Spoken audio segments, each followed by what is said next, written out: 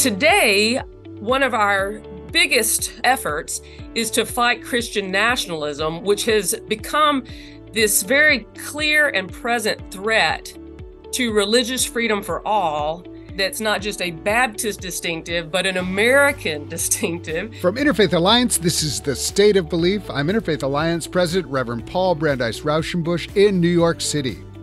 This week, Speaker of the House Mike Johnson keynoted a gala gathering of the National Association of Christian Lawmakers and received their NACL American Patriot Award for Christian Honor and Courage. The NACL is a well funded initiative to inject a Christian nationalist agenda into state legislation nationwide.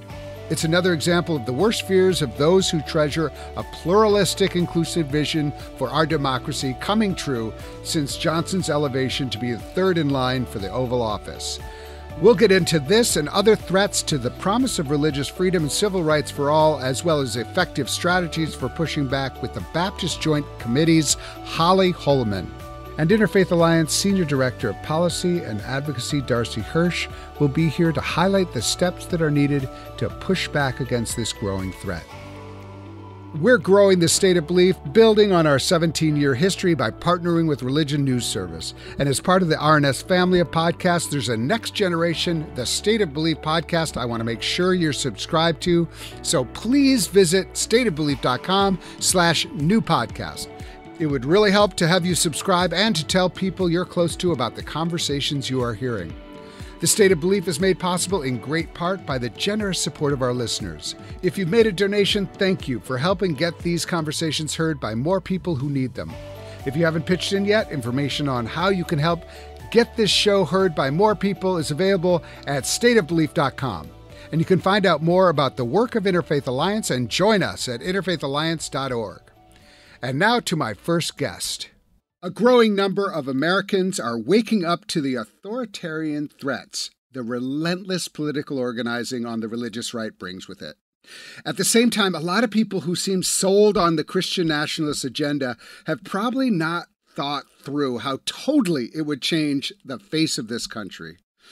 House Speaker Mike Johnson delivering the keynote address for the National Association of Christian Lawmakers is just the latest piece of evidence that leaders who actively promote a Christian nationalist vision for America are now entrenched at the very highest levels of power in our country. An invaluable partner for Interfaith Alliance in the work of opposing these kinds of efforts is the Baptist Joint Committee. And I am very happy to have with me Holly Hollman. General Counsel and Associate Executive Director of BJC, where she provides legal analysis of church state issues that arise before Congress, the courts, and administrative agencies. Holly, welcome back to the State of Belief. So good to be with you, Paul. Thanks for having me. Well, we're going to talk about some really fun things like Christian nationalism and, and the speaker, uh, Johnson. But before we do, I want to hear a little bit more about BJC. Can you tell our listeners a little bit more about the Baptist Joint Committee, the background, and what are you all doing today that we are so proud to support and collaborate with when we can? Yes, thank you so much. Paul, BJC comes out of that historic Baptist perspective that Baptists know, not all Baptists know, but if they scratch the surface of their history, they find out. And that is that one of the distinctions of Baptist among Christian denominations is a commitment to individual responsibility and um, uh, choice in matters of faith. So I say it as a, a, my simple Sunday school girl raised in the deep south way of talking about is that God created us as free people, free to choose to follow uh, God in matters of faith. And so Baptists believe that we should respect God's creation. Um, so there are theological and historical and experiential reasons that Baptists have been known for fighting for religious freedom, not just for themselves, but for all people. And BJC comes out of that historic Baptist understanding and uh, a coalition of Baptists because Baptists have are democratically uh, organized. They're, they're a, a bottom up denomination instead of a top down denomination. So you have lots of different kinds of Baptists that have organized voluntarily into associations and conventions And a group of those Baptists came together to make sure that there was a voice for the Baptist uh, commitment to religious freedom in the nation's capital more than 80 years ago. Actually, we're approaching a 90 year history of Baptists coming together to work for religious freedom for all. Of course, the work has taken different shapes and different had different focus depending on the era. Um, but a lot of that work has been in being true to our Baptist roots, speaking truth to power in the halls of Congress and the courts and agencies and at different levels of government, but also in communities, encouraging each other at our churches to be a strong witness for religious freedom for all. And today, one of our biggest efforts is to fight Christian nationalism, which has um, become this very clear and present threat to religious freedom for all that religious freedom for all that's not just a Baptist distinctive, but an American distinctive in our constitutional tradition.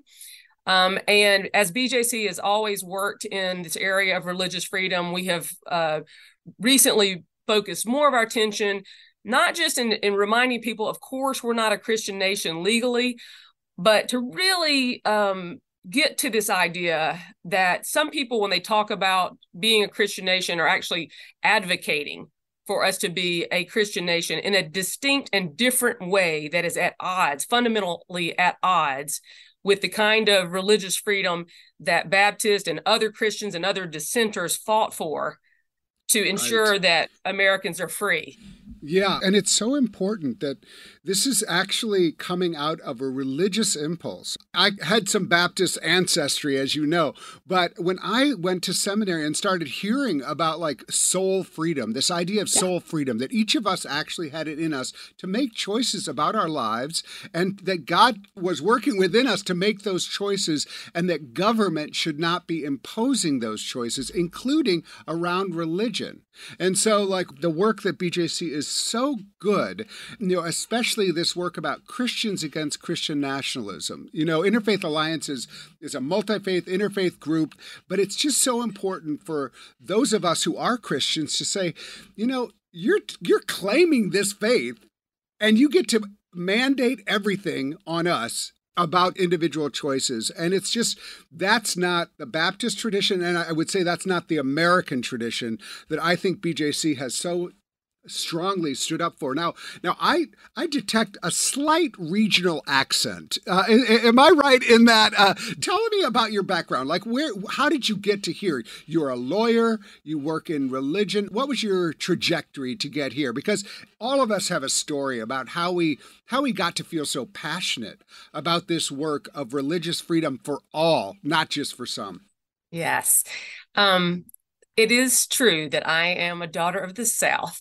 Um, and people can't guess my accent because I've been all over the Southeast, but I was raised in Jackson, Mississippi, in a Baptist church. I often, I often joke about saying um, I was raised in a Southern Baptist church, or as we called it at the time, a Baptist church, because I say that because uh, the the Baptists have changed, and it certainly was not something that was emphasized in my church growing up as kind of code for any particular political leanings or restrictions on on people in ministry or who could come to join a church or come together. So right. the Baptist tradition I come out of is one that you focus on the Bible, focus on following the witness of Jesus, a lot of Christian discipleship, a lot of you know community. Of course, every story is is rich in experience and and we're all shaped by lots of different influences but i will say that i got a heavy dose of the bible and the living witness of christians and the responsibility to other people and the voluntariness of choosing to live a faithful life and so mm-hmm. when I became a, a lawyer, and learned about well i'd heard about bjc growing up but not did not know about it that much. But when i when i learned about it later it made perfect sense that there was an agency dedicated to protecting religious freedom in law because it fit very much with the understanding in the baptist life that i grew up in in that you know you had to individually decide to make a statement of faith. No one forced you, and no one could. That voluntariness and that that soul freedom was definitely part of the story that I had grown up with, and fit very much with the advocacy perspective of BJC. One of the things I love about that story is that it's a Christian witness that shows like a real deep root in a tradition, in a faith tradition that is inspiring your work. I think the easy narrative and the narrative that uh, I think groups like the one that we're going to talk about today is they want us to think it's the secular Christian haters versus the true people of faith. That's the narrative that they really want to push, that they're the ones safeguarding the faith. And I think it's just really important that we want to name that they represent a small slice of Christian America that is diminishing and and yet they're trying to claim like so even the national association of christian lawmakers they're claiming both the law and faith and saying we're the ones who are going to put it forward. And what they mean by that is a very small narrow interpretation of what christianity is and what the law is. And let me say something about that paul related to not just my background, but so many people in this country grow up in places where you look around and there are so many churches. Why are there so many churches if we all believe the same exact thing? If we all worship the same, if we all emphasize the same, if we all, um, you know, have the same practices? No, we are a very diverse country, even within the Christian tradition. And that is one thing that we wanted to hold up in the Christians Against Christian Nationalism project is, is to remind people to stop and think about who they are as Christians. And there's a lot of diversity there. And then who we are as Americans. And there is diversity there. But what brings us together and, and how together, um, you know, we are not, you, we don't, those aren't the same. We don't merge those um, identity. So yeah, you're right. The, any attempt by some group to say that they are the voice of Christians in America but you know should should raise a lot of red flags yeah it does raise a lot of red flags i want to just do a description this was in the rolling stone article this is of the logo that uh, national association of christian lawyers has. I'm quoting more or less verbatim from the rolling stone article that's excellent if people want to learn more. The nacl logo is a crusader's shield red emblazoned with a white cross. One of the leaders said that the red represents the blood of jesus christ um, shed on the cross as a sacrifice for the salvation of all humanity. And the emblem, he says, is meant to evoke the biblical shield of faith that promises to extinguish all the flaming arrows of the evil one. And I know that you have noticed there is a lot of rhetoric around the evil one, around the work of Satan, by which they mean anyone who opposes them in a democracy. They're kind of replacing biblical texts with the evil one or Satan with the left or something like that. This is a playbook to get people thinking, oh, this is what I have to buy in in order to be a good Christian. Now, one of the reasons we wanted to talk today was to raise awareness about this group, specifically because they're giving an award to uh, the Speaker of the House, Johnson. And he gave a keynote there, and the award that they're giving to him is the American Patriot Award for Christian Honor and Courage. And again, just a reminder to our listeners you're listening to two Baptists who are really worried about um, the Speaker of the House going into this organization, which, by the way, has said terrible things about LGBTQ people, terrible things about women who want reproductive freedom, terrible things about other faith traditions. And so, what do you make of Mike Johnson, first of all, as a figure? On the American political landscape and religious landscape at the same time. Can you talk a little bit about Mike Johnson and how you're understanding his role in our body politic right now? Well, you know, BJC, like most people and most organizations, are just learning about him, right? We didn't, no one was paying attention to him. And now we know a lot. We know about his long time commitment to um, these Christian nationalist ideas. Um, unfortunately, he comes out of Baptist life and Southern Baptist life, and and some um, some conflicts that we know about that put power above any kind of commitment to Christian beliefs is is my view of it. Is he out of the Southern Baptist Convention? That's right.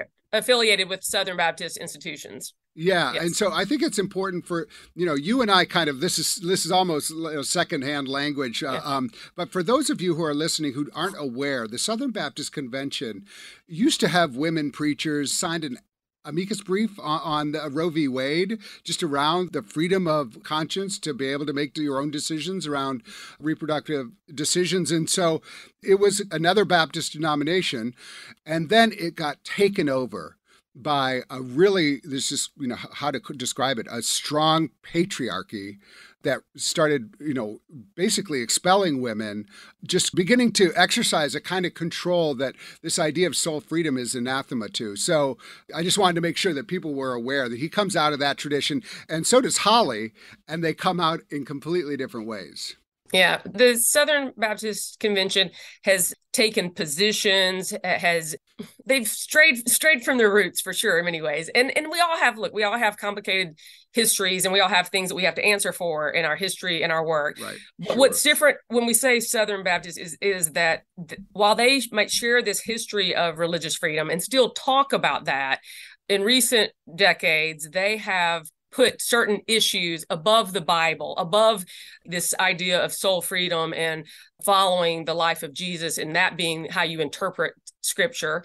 And instead, yes, even most recently has gone after any women pastors in ways that I never heard of growing up and reading the Bible. And well, you know what? You know when Rick Warren's church gets expelled, right.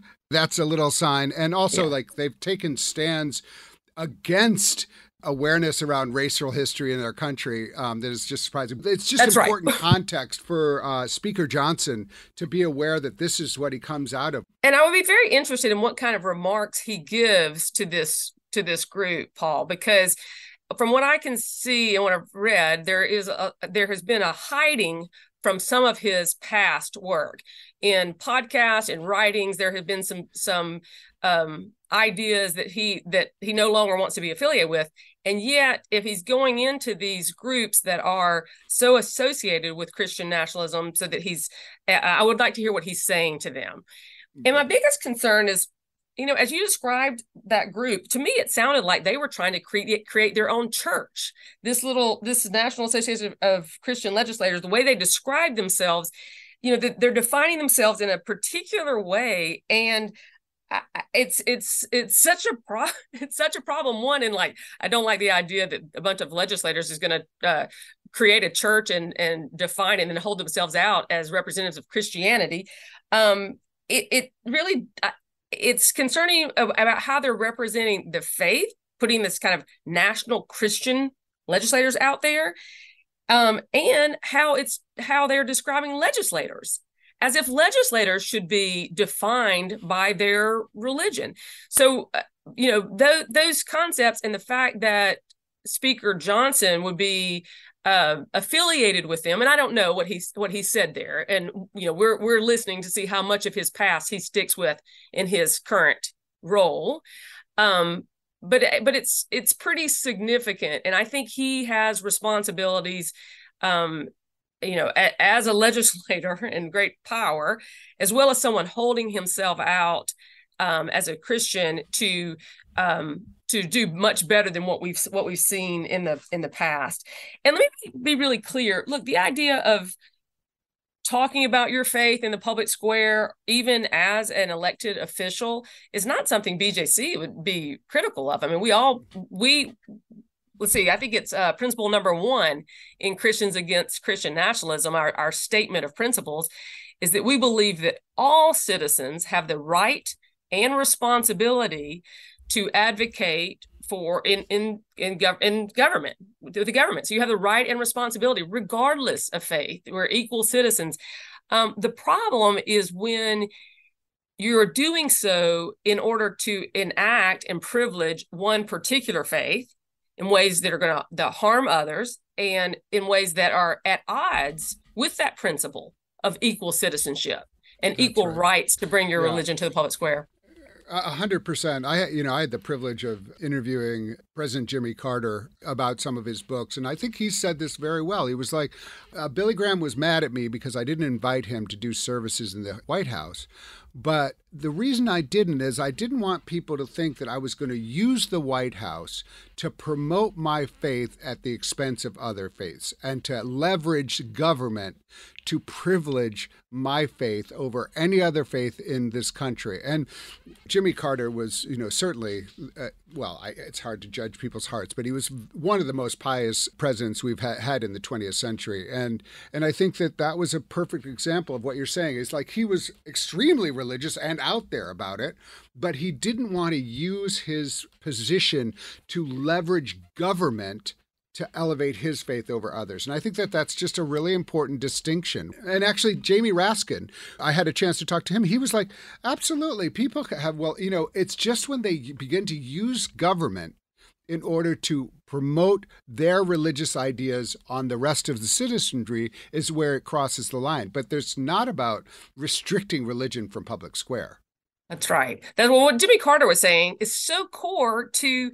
It sounds so Baptist. It, I mean, it just sounds so uh, faithful in that yeah. that Jesus called us and said, "Whosoever will follow me, follow me." And so it's just that belief that that you may be called into religious faith a life of faith but you're not forced into it. And so why would you force that on anyone else? It's a it would be yeah. a total disrespect for how religion works as a live and ongoing force in people's life to think that you could legislate and tell someone exactly what it means it has to mean to them all people, including Christians, should be wary of this group, not because it, there's anything wrong with being a Christian legislator, but we need to be looking at what they say, what they're representing, and, making sure that they don't try to speak for all Christians or all legislators.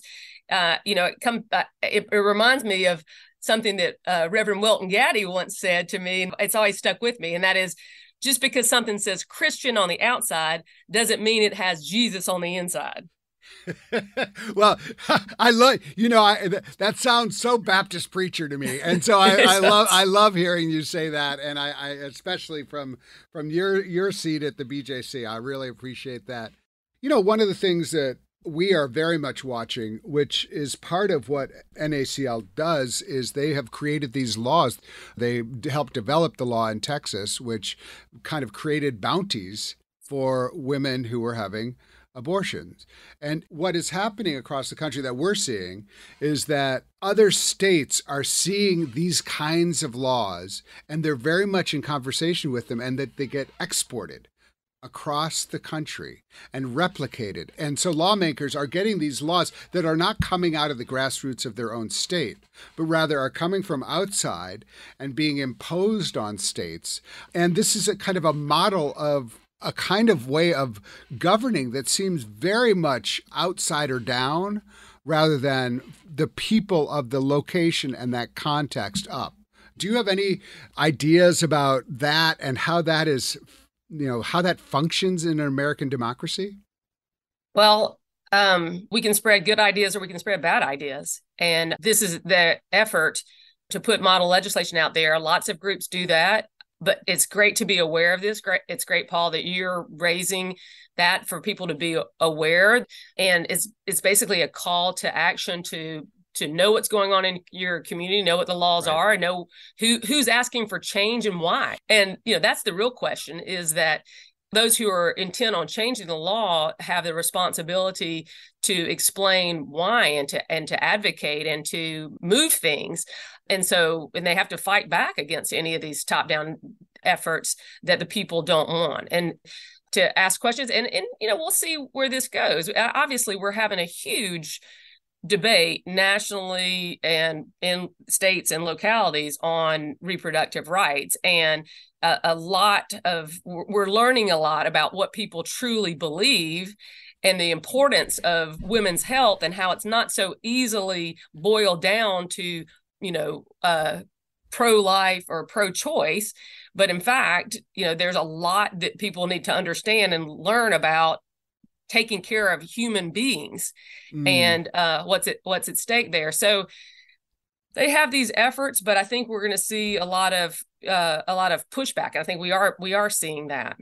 Yeah, well, and I th- I want to just again like highlight Christians against Christian nationalism. I think you have a website, right, where people yes. can go if they is it just Christians against Christian nationalism.org? It is. It is. Okay. Uh, yeah. that is great. Yeah, and, and I do th- I do think that this is like this is a, a, movement that anyone can get involved in. I think there is, uh, you know, BJC is a great organization to work with, and people, you know, they, they will, if you send them inquiries and if you want to begin to imagine something like this in your uh, hometown, home state, um, I really encourage you to go on their website, learn more, learn about, you know, learn about what's happening, not only in your neighborhood, but nationally, and then figure out how you can plug in. That's right. Yes, it is an opportunity. It is it is grown as a national network with signers throughout the country in every congressional district in rural areas, um, in urban areas. Um, I think you know it really hit a hit a nerve that that uh, so many Christians are unhappy with the the impact they see of Christian nationalism and the public face that they see of Christianity coming out of some of these circles, right. and very sadly, when it comes out of elected officials, and a, a, way to organize and, and fight back and, and understand and support uh, uh, understanding of our country that allows you know allows more full and honest and uh, you know debate consistent with our American principles. I love that. I would love to hear your latest reflections on the Supreme Court uh, and uh, any thoughts you have about the way you see the Supreme Court um, functioning right now, and um, yeah, any any reflections. I you know I I grew up revering the court uh, because of uh, um, my great grandfather was on the court, and um, uh, and I I mentioned like I said to Jamie Raskin in an interview, I, was, I, said, "Well, I don't think the court is going to save us." And he said, "The court has never saved us." and so, and so, I, I, am curious what you think about yeah. about you know the Supreme Court right now and and how it's functioning in this conversation about religion in America. I agree that the, the court has never saved us, but the court has done a, a better job at, at different times um, of helping us live into the promise of the the First Amendment. I mean, we're at a time of great change in the in many areas of the law.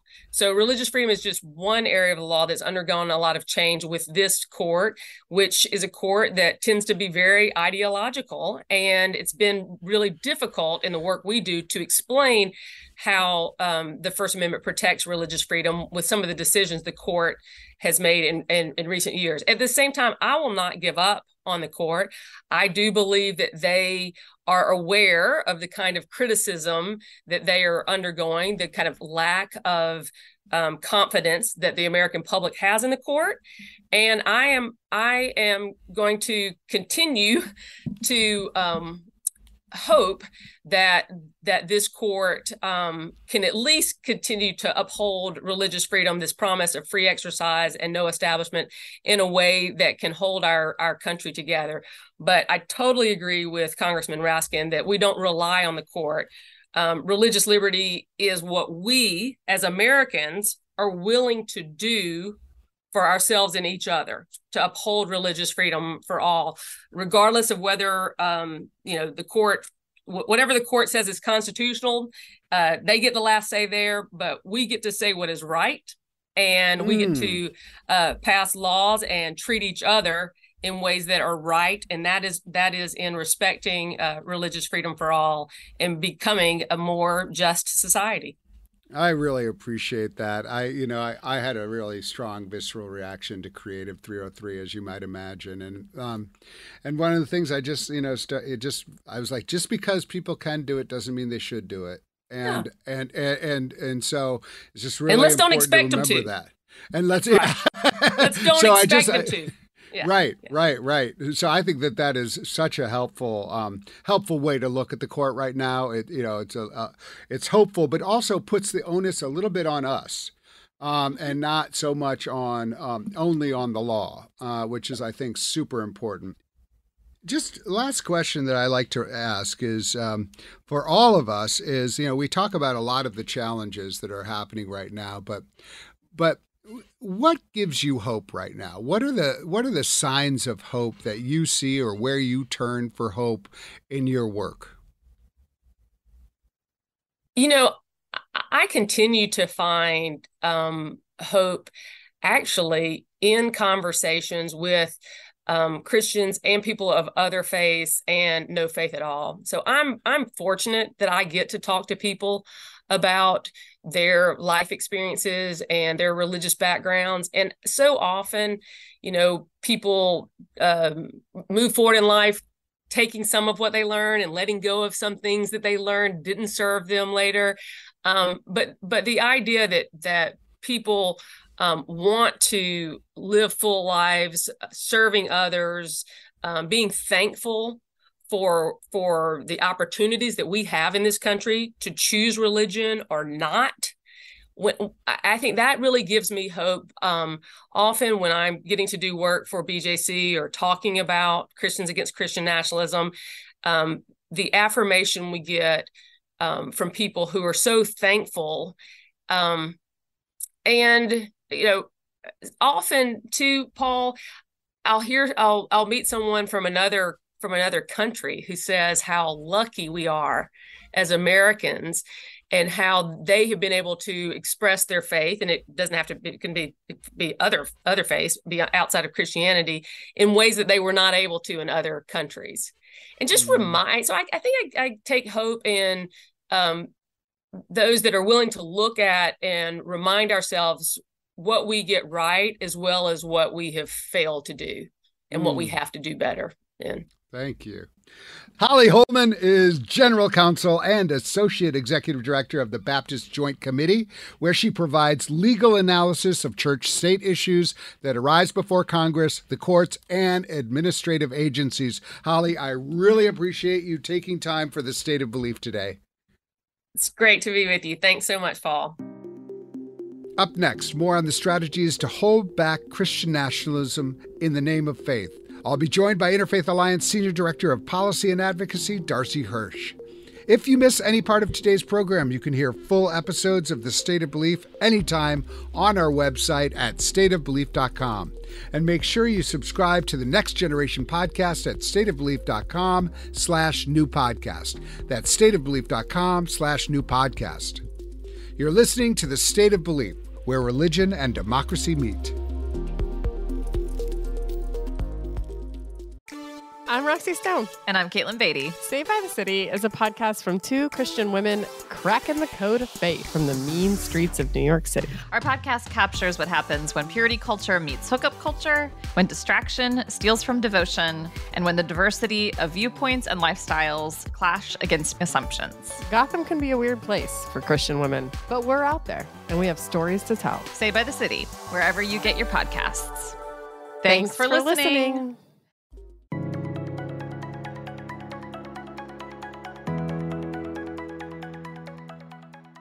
Darcy Hirsch is Senior Director of Policy and Advocacy at Interfaith Alliance. She is both a lawyer, but also went to divinity school at Harvard Divinity School. And she is really at the forefront of Interfaith Alliance's work at this moment that is really impacted by what's going on on Capitol Hill with Speaker Johnson and all of those who are driven by a Christian nationalist agenda.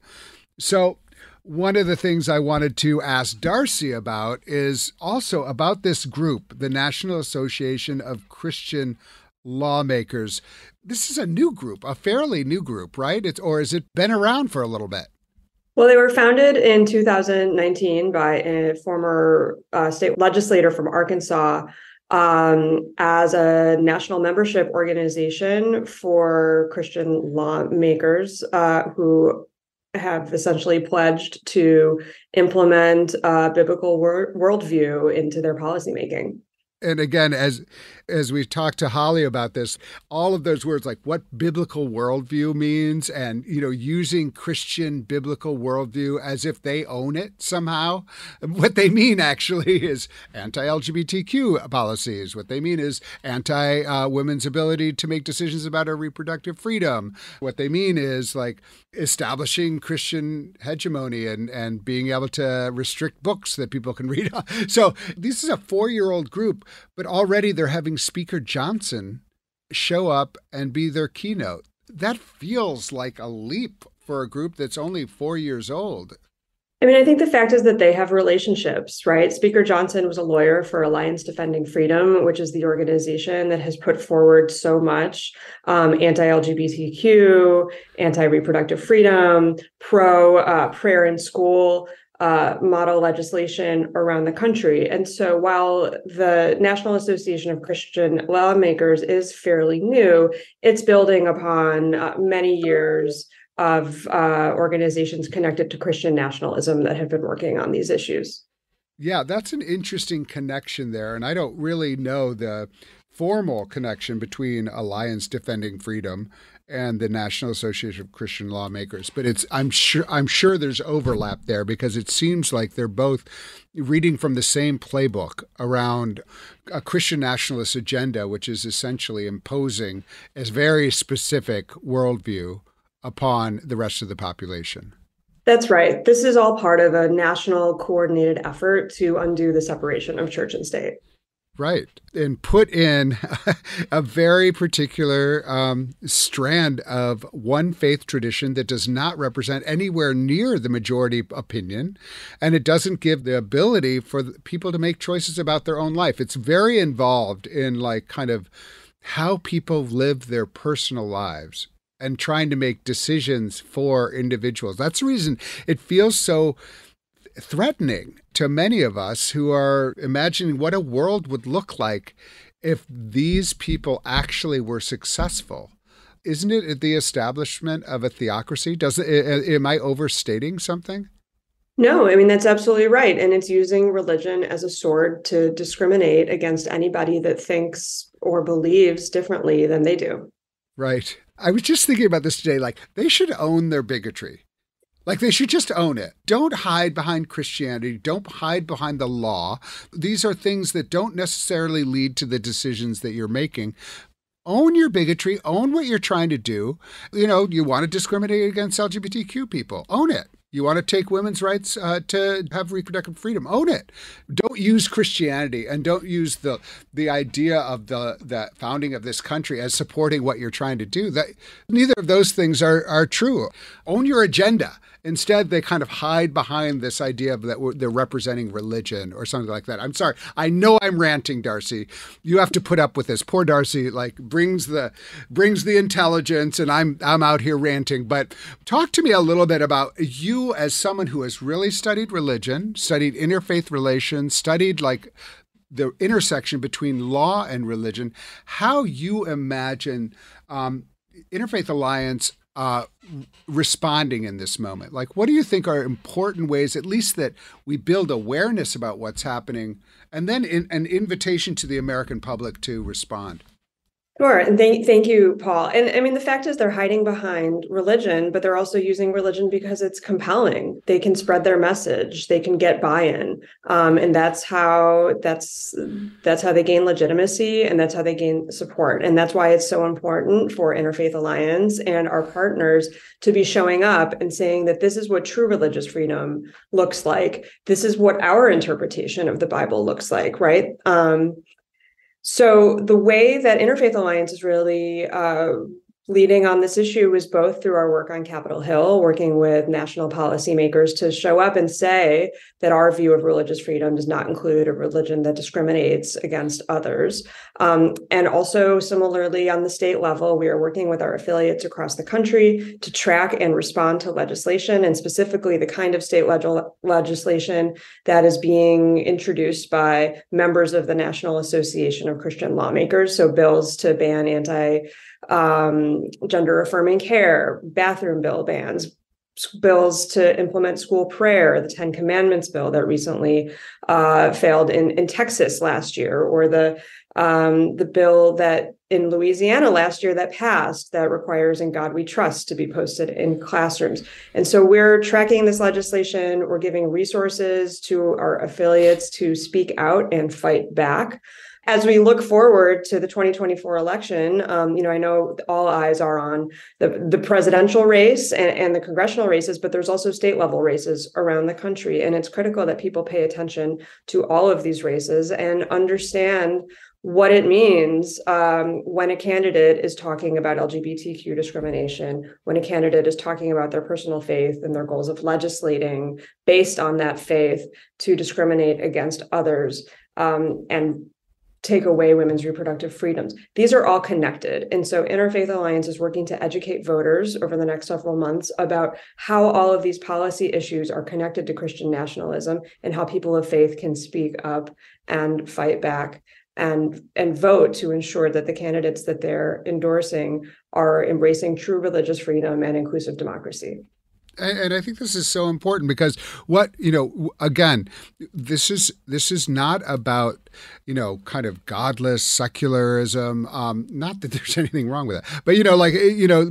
people don't have to have a faith but it is the, the dichotomy they're trying to make is these like godless liberals versus these like pious and christian people who are just trying to bring christian values. And that's not actually what's happening. It's a very particular set of values that they're trying to impose on others. And and what we want people to be aware of is that that has repercussions.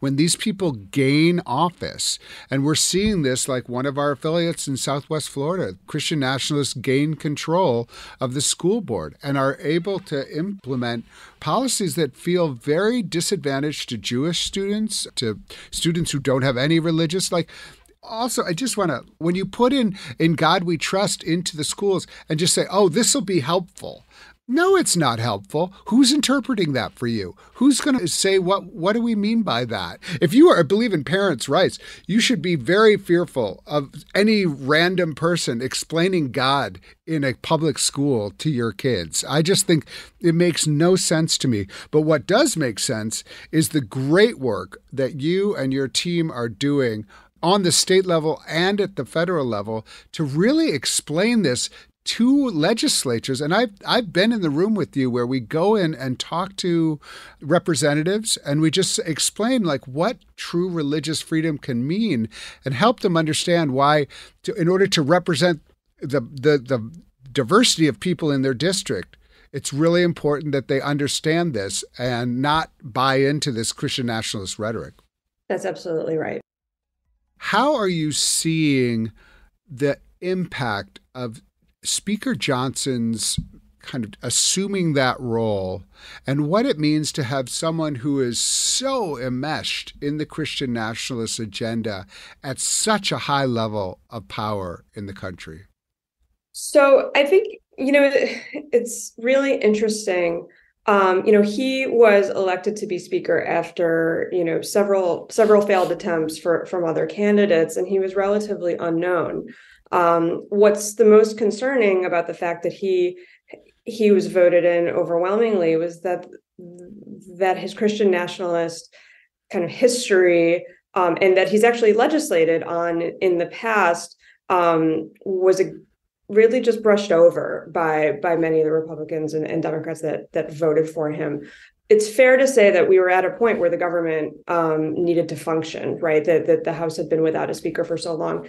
Um, that they really did need somebody to lead and, and and and get back to a sense of normalcy. But to elect a speaker with a history like that really just shows the normalization of Christian nationalism and the acceptance um, and really, I think many members of Congress turning a blind eye uh, to, to some real problematic policy history uh, that, that the speaker has engaged in.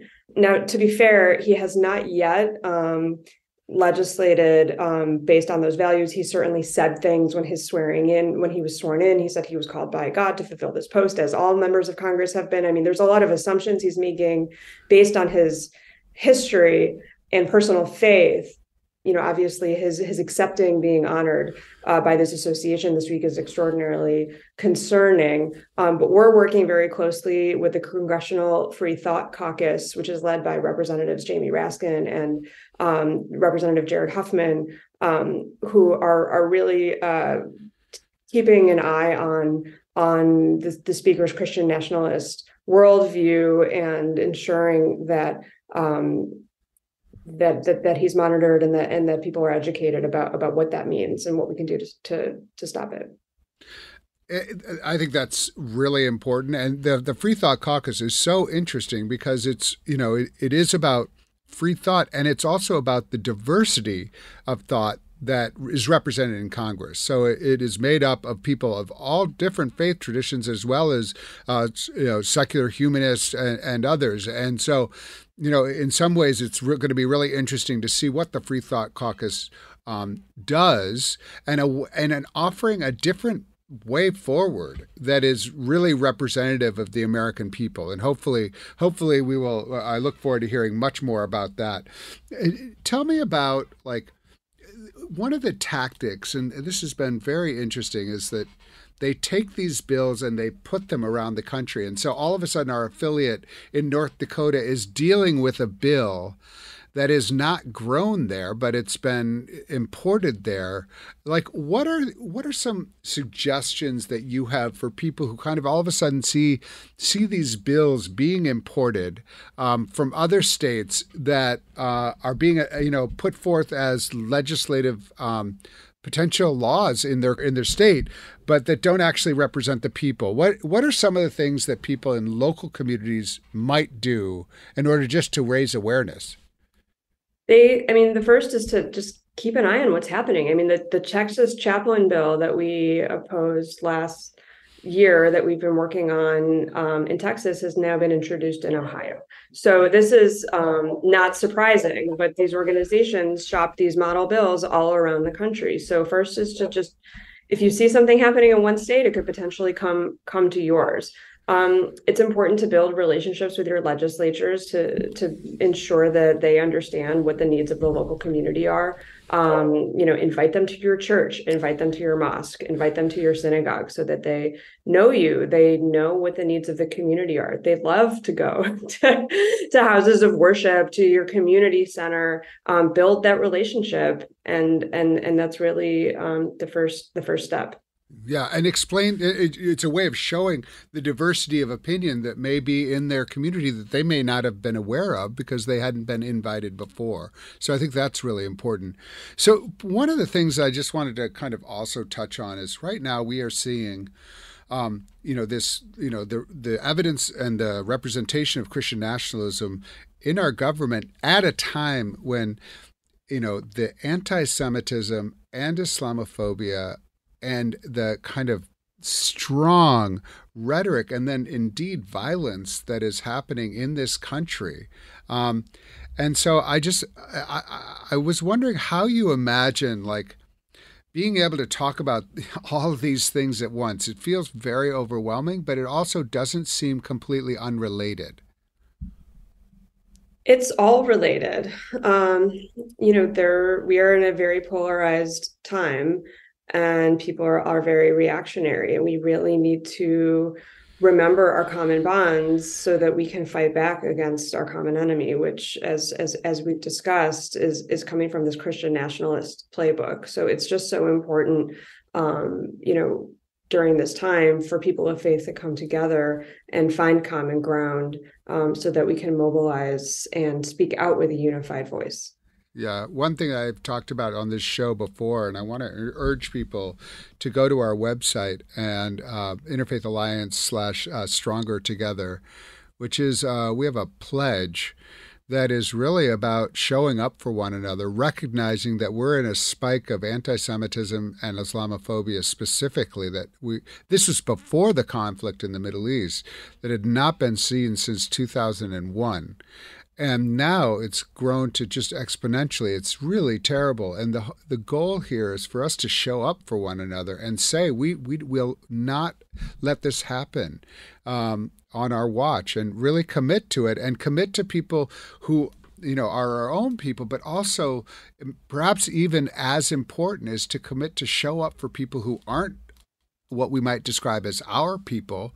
But by showing up we show that we actually are you know, have common humanity, common bond, common future if we can build it together. And I just think that it's really important in this moment where we we're just seeing all the things that are attempting to divide us to to try to figure out like how how we can imagine a future together. And I know that this is something that you and um, and the entire Interfaith Alliance team is working on so much, and I just I appreciate it so much. Is there anything right now that gives you hope uh, for um, in this moment, as we've talked about, quite a somber, you know, but there is, you know, I think there's always hope. Where do you find it? There's hope, and, and thank you for asking that. I, you know, you mentioned our pledge. We have hundreds of people who've already signed on, and now we're taking organizational signatures. And I know that many of our local affiliates have used the pledge to to put together community events, to start dialogue. I mean, the fact that that people are are reaching out to one another. This may be a difficult time, but we know that these relationships will heal eventually, and and that we can come together in mutual support. Um, really, really gives me hope. I really appreciate that. And again, thank you for all your work. Darcy Hirsch is the incredibly effective Senior Director of Policy and Advocacy at Interfaith Alliance. Darcy, I know I gave you zero advance notice about being on the show today. So, a special thanks for bringing your passion and expertise to the state of belief and for all your work you do. Thank you, Paul. And that's all the time we have for the State of Belief this week. Please be sure to subscribe to the new and improved podcast called The State of Belief at Apple Podcasts or your favorite podcast platform, or at stateofbelief.com slash new podcasts. Subscribe to The State of Belief today. We need your help keeping the State of Belief going. I hope you'll consider being a partner in this crucial work by making a financial contribution today. Information on how to donate is available at stateofbelief.com. That's stateofbelief.com. And if you're getting something out of the show, share it with your friends and family. Let's get more people listening and keep these conversations going when the show is over. Follow us on Facebook and Instagram at State of Belief and share State of Belief with the people in your networks. The views and opinions expressed on this program do not necessarily reflect those of Religion News Service or Religion News Foundation. State of Belief is produced by Ray Kirstein and is a production of Interfaith Alliance. Become a member today at interfaithalliance.org. And be sure to join us next week. I can't wait. Until then, I'm Paul Brandeis Raushenbush on the State of Belief, where religion and democracy meet.